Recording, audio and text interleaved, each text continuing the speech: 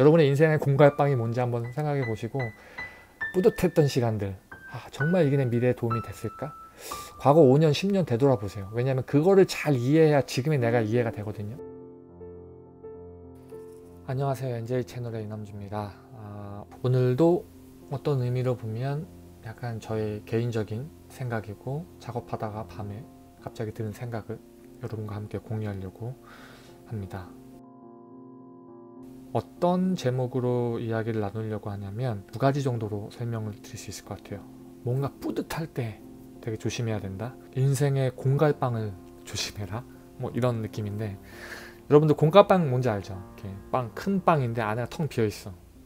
겉으로 봤을 때는 엄청 커 보이고 맛있어 보이는데 막상 그 빵을 한 입 딱 깨물면 안이 텅텅 비어 있어서 배도 안 차고 뭐 그런 거 같아요 공갈빵이 제가 정의하고 있는 공갈빵 그러해요 이 타픽에 대해서 왜 여러분들과 함께 이야기를 나누려고 하냐면 제가 이전 비디오에서도 사실 사람은 이제 점유율이 그 뇌의 어떤 점유율이 한계가 있다라고 이제 말씀을 드렸어요. 하루에 쓸 수 있는 집중력과 하루에 쓸 수 있는 막 즐길 수 있는 아니면 막 하기 싫으면 억지로 할 수 있는 그런 것들이 대충 정해져 있다고 저는 생각이 들거든요. 사실 정해진 대로만 해서는 쉽지가 않죠. 뭐 그런 거죠. 뭐 월급만 모아서 아파트 못 사듯이 정해진 에너지 갖고만 해서는 그 우리의 환경을 뒤집어 엎을 만한 어떤 그런 결과물을 만들어내는 건 쉽지는 않고 그거를 초월할 수 있는 그런 에너지 원들을 가지고 와가지고 이제 써야 된다고 제가 계속 말씀을 저희 어떤 경험을 공유해 드렸고 그래서 분노도 에너지가 될 수 있고 주변에 조롱하는 것도 에너지가 될 수 있고 칭찬도 에너지가 될 수 있고 그래서 그런 것들을 끌어다가 우리가 단시간 안에 어떤 집중력을 확 높여서 그 안에서 어떤 무아의 지경으로 들어가서 내가 코딩이 되고 코딩이 내가 되고 예? 우리 군대 있을 때 그런 얘기 있거든요 술 조심하라고 술 마시다 보면 내가 술을 마시고 술이 나를 마시고 이런 무아의 지경 무아의 지경까지 가서 우리는 이제 어, 작업을 하고 코딩을 하고 내 안에 있는 포텐셜을 터치는 게 이제 제가 채널을 통해서 계속 주장하는 그런 이야기를 제가 드리고 싶은 거죠. 그래서 그런 관점에서 다시 우리 주제로 좀 들어가 보면은 사실 제가 예전에 회사 다닐 때 혹은 회사를 이제 그만두고 나와가지고 제 개인 스타트업을 했을 때 굉장히 일을 열심히 할 때가 있어요. 진짜 열심히 해. 막 진짜 주말도 나가가지고 일하면 되게 뿌듯해. 컴퓨터가 24시간 렌더링이 돌아가고 뭔가 막 작업이 돌아가고 있을 때 되게 뿌듯했었어요 그때 근데 아까 제가 제목에도 말씀드렸듯이 뿌듯할 때 조심해야 된다고 내가 뭔가 뿌듯하고 뭔가 일주일 한 달 동안 내가 뭔가 한 게 있다고 되게 뿌듯하고 스스로를 칭찬해주고 싶을 때 조심해야 되는 이유가 뭐냐면 사실 이것들은 어떤 의미를 보면 그냥 현상 유지를 하기 위한 일이거든요 월급 받기 위한 일, 돈 벌기 위한 일, 정말 일, 말 그대로 일인 거예요 사실 이 일을 통해서 경험을 쌓고 미래에 좀 더 부가적인 것들을 흘려보낼 수 있으면 좋긴 좋은데 이 대부분의 일이라는 게 그 공갈빵 같아가지고 내가 뭔가 열심히 한 것 같아요. 근데 내가 열심히 일을 하고 프로젝트를 한다고 쳤을 때 일주일 동안 딱 끝나고 나면 그걸 돈으로 그냥 바꾸는 건지 사실 내 미래에 도움되는 건 없다. 이거 제가 경험한 거거든요. 물론 똑같은 일을 반복했을 때 오는 그런 괴리감일 수도 있는데 어, 한번 여러분들의 일상에서도 한번 놓고 생각을 해봐요. 어떤 일들은 에너지 소모가 되게 커. 그래서 내가 뭔가를 하면 되게 한 것 같아. 그래서 오늘 주말 쉬어도 돼. 나한테 오늘 맛있는 걸 먹어도 된다는 어떤 상을 줄 수도 있어. 뭔가 뿌듯해서. 근데 그게 정말 미래에 갔을 때 내가 도움이 되냐? 이런 거죠. 이 반대 예를 제가 하나 들어드릴게요. 반대 예는 뭐냐면 이런 거예요. 저 같은 경우는 어쩔 때는 아싸리 그냥 일도 안 하고 아무것도 안 할 때는 차라리 어 내가 밥은 먹어도 되나? 어, 내가 오늘 한 일이 없는데 한 공부가 없는데 그럼 되게 불안한 거야. 그죠? 이거는 뭐 공갈빵이 아니고 뿌듯한 공갈빵 혹은 뿌듯한 거에 정반대죠. 내가 아무것도 못했단 말이야. 오히려 이럴 때는 쟤는 더 답답하고 좀 불안해서 미래에 위한 공부를 많이 했던 것 같아요. 미래에 대한 투자를 많이 했던 것 같아요. 가령 뭐 공부를 더 한다던가 아니면 코딩을 더 한다던가 사실 이거 직접 내가 일에 연결되어 있는 건 아니거든요. 일에 연결되어 있는 건 아닌데 그냥 이렇게 함으로써 내가 어떤 그 공허함이라든지 그런 걸 달래는 거지. 근데 사실 그건 엄밀하게 얘기하면 그럼 일에 영향이 엄청나게 미치는 거죠. 저는 정말 그랬거든요.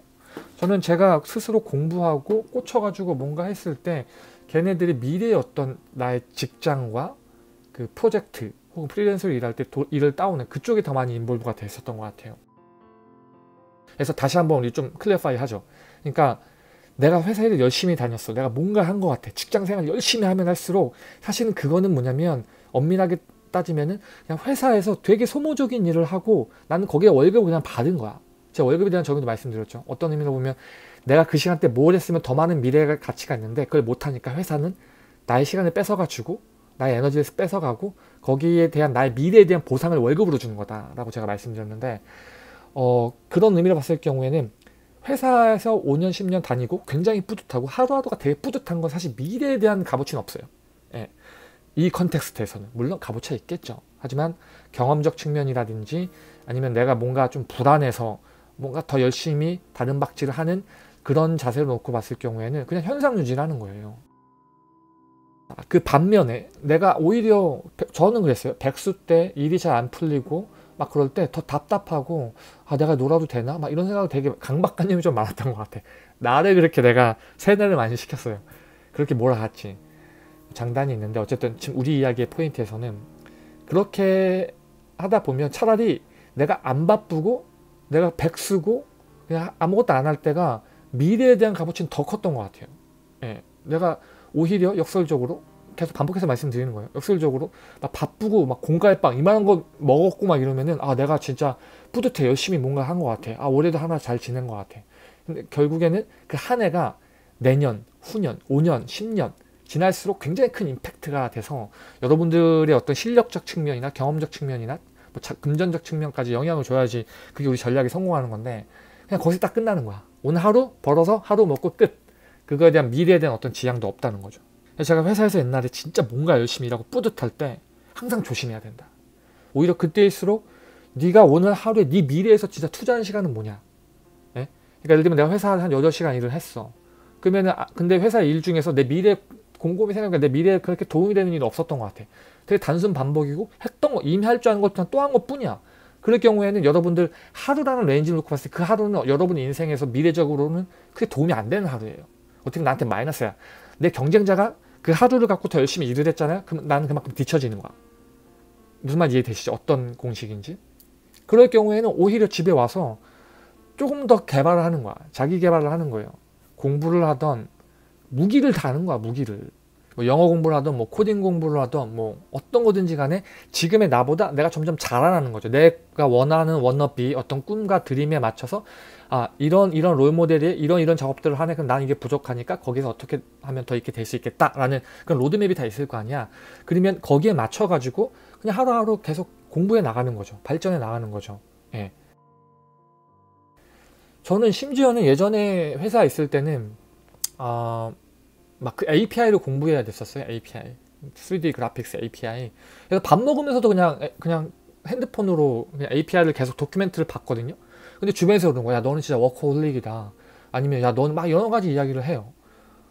근데 저는 그냥 그게 궁금한 거야. 그게 궁금한 거야. 밥 먹으면서도 아까 회사 나올 때도 아 이게 왜 그랬지? 아 이거 또 다른 방법 없나? 머릿속에 곰곰이 생각하면 어이 API가 있으면 될 것 같은데 밥 먹어서 그냥 찾아본 거야. 그러니까 이거 여러분 습관화 드리는 게 되게 중요하던 것 같아요. 예. 제가 예전에 또 이런 비디오를 만들어 드렸을 거예요. 그냥 직장 생활로 일하는 사람들. 그냥 일로 파는 거야. 그냥 일, 그 다음에 끝. 그 다음에, 그 다음에 와서는 뭐, 그쵸. 노는 거지. 뭐 밥 먹고, 먹고 싶은 거 먹고. 대부분 사람들 그게 살아. 근데 그게 나쁘다는 게 아니라, 거기에 맞춰서 여러분 만족할 수 있으면 상관이 없는 것 같아요. 그렇지만, 오늘 제가 반반이 너무 나가네. 제가 너무 편하게, 편하게 말을 하나요? 죄송합니다. 어쨌든 그 반대 입장에서는 그냥 그 일을 떠나서 그냥 내 관심사가 그거야. 그냥 그게 재밌어. 그게 좋아. 예? 그냥 거기에 확 몰입되어 있는 거야. 그냥 무아의 지경으로 들어가는 거야. 그게 나고 내가 그고. 그렇게 그냥 확 그 세계 안에 들어가서 몰입하는 거. 이게 되게 중요하거든요. 그래서 다시 말씀드리면은 한 가지 주제를 계속 여러 가지로 반복해서 말씀드리고 있는 거예요, 여러분들. 내가 오늘 한 게 없는 것 같다. 하, 개발하지 못한 것 같아. 어제 오늘과 똑같아 라고 생각했을 경우에는 집에 와서 조금이라도 뭔가 찾아보고 공부하고 하는 습관들 그리고 그런 센스 그러니까 그런 이제 촉을 좀 가지고 있어야 된다 라는 게 오늘 비디오의 포인트인 거예요. 그래서 내가 오늘 하루 일주일 열심히 뭔가 했긴 했어. 근데 정작 정말 냉철한 필터로 보면 이게 내 미래에 얼마큼 도움이 됐냐. 그 도움이 된 시간만큼 그 시간들이 누적돼서 미래의 리턴으로 돌아오는 거거든요. 내가 아무것도 한 게 없어. 열심히 일만 했어. 그럼 바보예요. 그냥 부속품인 거야. 그렇게 하다 잘리면 뭐 아무도 책임 안 진다니까 여러분들. 여러분 인생 여러분이 책임져야 돼요. 그렇기 때문에 오히려 더 역설적으로 그 회사에서 못 자르게 만들어야지. 그러려면 어떻게 해야 돼? 계속 내가 메리트 있고 매력 있는 사람으로 남아야 돼요. 그러려면은 진짜 계속 뭔가 변화되는 모습이 있고 시대를 뭐 초월해서 앞서가기보다도 최소한 따라가는 모습들 보이면서 내 강점을 계속 발휘할 수 있는 context를 만들어야 된다라는 거죠. 그렇기 때문에 회사 일 아니면 내가 뭐 학교 과제 열심히 하여튼 뭔가 내가 뿌듯하게 열심히 했어. 그래서 아 오늘은 내가 스스로 공부 안 해도 돼라고 스스로가 생각될 때 한번 생, 냉철하게 봐요. 어? 내가 정말 오늘 열심히 했나? 그리고 이것들이 과연 미래에 도움이 되나? 이 열심히 그냥 어떻게 보면은 벽돌 100장 나르는 거, 200장 나르는 거 그런 열심인가? 그건 솔직히 뭐 100장, 200장 나른다고 해갖고 내 미래에 도움되진 않잖아요. 저 100, 벽돌 200장 날랐는데요. 뭐 월급 더 주세요. 라든지 아니면 뭐 내 미래 취직하는 회사라든지 뭐 학교 유학을 준비하는 분이라든지 직장 인터뷰 준비하는 분들 실제 실력이 중요하지 단순히 그냥 열심히 한 거는 중요하지 않다 말인 거죠. 그래서 옛날에 저도 뭐 사무실 운영할 때 막 일을 못 하고 막 일이 없고 그리고 그냥 다문화 단순 반복적인 일 같은 것만 했을 경우에는 좀 불안했던 것 같아서 막 밥은 먹어도 되나 해가지고 그냥 쪼, 쪼개고 쪼개고 쪼개서 여러분들 좀 젊은 친구들은 이런 강박관념을 일부러 조금 배양을 하세요. 네, 이런 강박관념들을 배양을 해서 좀 내 스스로의 포텐셜을 키우는데 기여할 수 있는 힘들이 크다. 왜냐면 사실 이때 이런 어떤 이런 마인 이런 마음이 들 때 제가 공부했던 부분들이 굉장히 저희 많은 실력에 기인을 하는 것 같고 어 좀 뭐랄까요? 왜 그런 거 있어요? 여러분들 그 어떻게 보면 좀 근본적인 이야기일 수도 있는데 진짜 콩 심은데 콩 나고 팥 심은데 팥 나거든요. 근데 다들 사과를 심고 배가 열리고 배를 심고 사과가 열리길 바래서 그게 문제라고 저는 개인적으로 생각을 해요. 그러니까 결국 지금 우리가 당면한 우리의 문제들, 우리의 처우들은 사실 과거에 수많은 나들이 만들어 준 거라고 저는 이제 채널을 통해 계속 말씀드리고 있는데 그렇다고 친다면 그 습관들, 그 다음에 그 과거부터 내가 쭉 해왔던 그런 어떤 탄성들은 그대로 가는 힘이 워낙 세요. 그래서 이것들을 뒤집기가 쉽지가 않아. 예를 뭐 담배 끊는 것도 그렇고 뭐, 뭐 다이어트 하는 것도 그렇고 그렇잖아요. 기존에 내가 살아왔던 습성을 뒤집어가지고 아예 패턴을 바꿔야 된다는 거잖아요. 어떤 의미로 이런 식으로 이야기하더라고. 내가 지금 어떤 질병에 걸렸으면 과거의 나의 삶의 패턴에 대한 리, reflection, 그러니까 return이라고. 그 삶에 대한 결과물이라고. 그러면 이 병을 고치기 위해서는 어떻게 하면 좋겠어요? 이 병을 뭐 약을 먹고 이것도 물론 일시적이고 중요한 거긴 하지만 중요한 거는 내 과거의 어떤 삶의 패턴이 지금 나의 어떤 식습관들이 나의 병을 갖고 온 거잖아. 그러면 이거를 고치는 게 주, 중요하겠죠. essentially. 아니 기초적으로 펀드멘탈 이걸 고치는 게 굉장히 중요하거든요. 그런 관점에서 봤을 경우에 지금 우리 인생의 공갈방에 대해서 이야기하고 내가 뭔가 뿌듯했을 때 이걸 어떻게 대처할 거냐에 대한 이야기를 하고 있는데 이럴 때일수록 나 내가 과거에 그냥 어 이 정도면 충분했어. 아니면 뭐 오늘 열심히 했으니까 뭐 내일 좀 더 하지 뭐 시간 있을 때 좀 더 하지. 약간 이런 식의 스탠스를 갖고 있었다고 친다면 그러지 말고 약간 좀 더 그 스스로의 어 스스로의 불안감을 조금 이렇게 씨앗을 뿌려서 잘 배양을 하면 그런 게 저한테는 좀 주요했던 것 같아요. 근데 여기서 side effect는 여러분들 너무 그렇게 하다 너무 스스로 그렇게 몰아가다 보면 막 정신적으로 스트레스 너무 많이 받을 수 있, 으니까 어쨌든 전략적으로 어, 그런 방법론들도 한번 차용해가지고 하면 좋을 것 같다라는 생각을 이제 공유를 드리는 거예요. 다시 말씀드리지만 진짜 몰입해야 되거든. 무슨 일을 하든지 무아의 지경으로 들어가려는데 들어가려 고 하려면 쉽지가 않아요. 근데 그 방법론을 다 여러분들 스스로가 한번 고민을 해봐야 된다. 난 어떤 식으로 내, 내가 스타일이 어떠한지. 그래서 열심히 일한 것 같아도 사실 뭐 10년 뒤에 그냥 나 여기 회사에서 이거 했다 끝 이럴 수 있거든요. 굉장히 좀 네가티브하게 보면 물론 이제 보는 관점 다 다를 수 있겠지만 제 맥락에선 이해되시죠. 그렇기 때문에 회사 일 혹은 내가 뭔가 뿌듯하게 한 것 같고 내가 뭔가를 진짜 이 정도면 됐어 라고 했을 때 그때 조심해야 된다는 거예요. 그때 정말 내가 이게 내 미래에 도움이 됐는지 나의 어떤 단점을 보완하는 건지 나의 강점을 더 강화시키는 건지 그런 것들을 치열하게 고민해가지고 아니다 싶으면 그 하루는 뻥친 거야. 예, 더 열심히 하셔야 된다는 거예요. 전략적으로. 그래서 어떻게 하면은 오늘의 하루하루가 내일로 연결되고 연결되고 해서 어떤 스노볼 이펙트를 만들어내냐 이게 제 생각엔 키 포인트인 것 같아요. 그래서 어떤 그 마치 금리 금리처럼 그 원금의 금리가 붙고 또 금리가 점점 이렇게 부풀어 오르잖아요. 뭐 복리의 마법처럼 우리 실력도 어떤 복리를 적용하려고 든다면 이게 끊기지 않고 쭉 꾸준히 투자가 돼야지 그 실력의 복리가 발휘가 된단 말이죠. 그러려고 한다면 우리가 하루하루가 계속 자라나야 되는데 어떤 공갈빵 혹은 되게 내가 뭔가 열심히 한것 같아서 뿌듯할 때 그때 그 맥이 끊기거나 이런 경우가 있다. 근데 저는 그거를 어떻게 다뤘는지 이 비디오를 통해서 이제 설명을 드렸고 여러분들도 한번 고민을 해 보시고 해서 그 널브러져 있는 짜투리 시간들을 어떻게 활용을 해가지고 어 솔직히 그렇게 해도 실질적으로 하는 시간은 얼마 없을 거예요. 근데 그럼에도 불구하고 한번 생각해 보자는 거죠. 나를 어떻게 train 시키고 내가 할 수 없는 부분과 내가 할 수 있는 부분들 더 극대화시킬 수 있는지 그런 부분들을 어 약간 찾아보고 탐험해보자. 너무 책 많이 보고 아 이렇게 해서 성공했대. 이 학원 가면 좋대. 이런 거 말고 내 안에 있는 거 좀 찾아보자는 거예요. 예. 다 나의 과거를 보고